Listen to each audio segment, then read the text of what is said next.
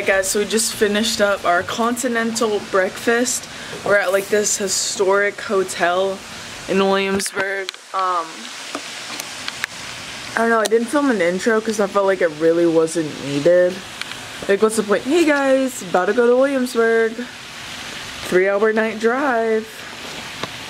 I don't know. So, hi, this is me going against creators. It'd be so dope if they decorated that tree you know, like a Christmas tree and put lights on it and ornaments. That would be so cool. I wish they did that. Um, and there's all these tennis courts. And it's really wooded around here, which I really like, and it's so calm. It's only two stories, and um, yeah.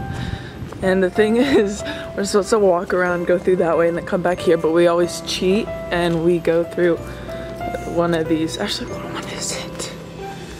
Actually, which one is it?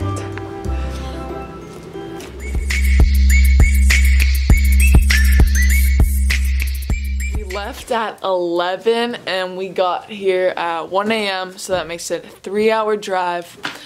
And right now we are about to go to Colonial Williamsburg with our cute little passporty things. And then tonight, I don't know, we might go to Busch Gardens to look at the lights. We'll keep you updated. Tomorrow we, we go to this Raleigh thing. Spirit of the season. Raleigh, Spirit of the Season. Mm-hmm. I don't know. If I can find like some clips or something, I'll insert it right up there. Holly's mad at me because I bit her.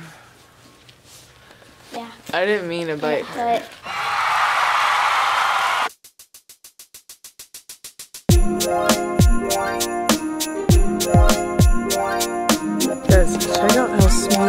This tree is.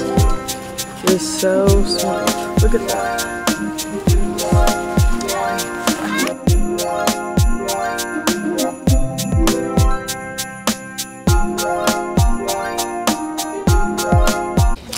So I'm about to try this ginger cake.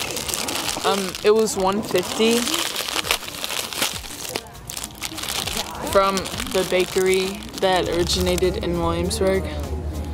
Uh, apparently they're really good. I've heard really good reviews of them.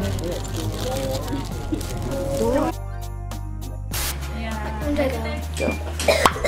Now let me see it from the side. It's a cricket.